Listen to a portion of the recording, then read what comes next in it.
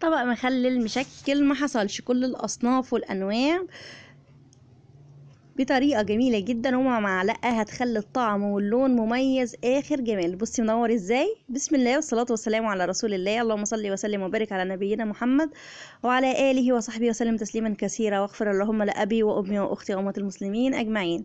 أهلا بيكم ونادي كل الستات معكم مروة حماد ومكملين مع المخللات.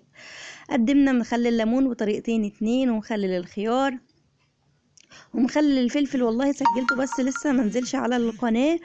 وطبعا مخلات البتنجان بأنواعها. إحنا النهارده هنعمل بقى طبق بتنجان أقصد طبق مخلل مشكل أو الترشي البلدي زي ما نحب نقول عليه. هحتاج توم قرنبيط كرنب أحمر وكرنب سلطة.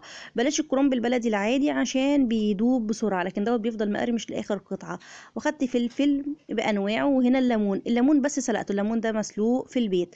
آه سلقته عشان إحنا قلنا طبق المخلل دوت هو يدوبك 3 أيام وهناكل منه.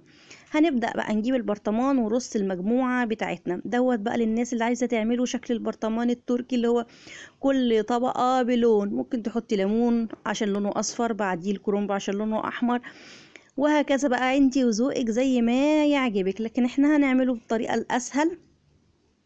لأن إحنا في النهاية عايزة أطلعه بيبقى كله مع بعضه مشكل. أنا عايزة أقول لكم الكرنب الأحمر ده والأصفر بيبقى طعمه تحفة تحفة في المخلل وآخر قرمشة. هاخد ملح على كل كيلو حوالي ربع كوباية من الملح وخدت ربع كوباية من الخل كمان معاهم. ولازم أقلبه كويس جدا جدا وهاخد معلقة صغيرة من السكر. هعبيه في البرطمانات وأبدأ أنزل عليه المية بتاعت المحلول الملح. كده بصي شكله ما شاء الله عامل إزاي حاجة تفتح النفس منور وجميل. وما تخافيش حتى الفلفل الرومي بيبقى طعمه حلو جدا ومقرمش.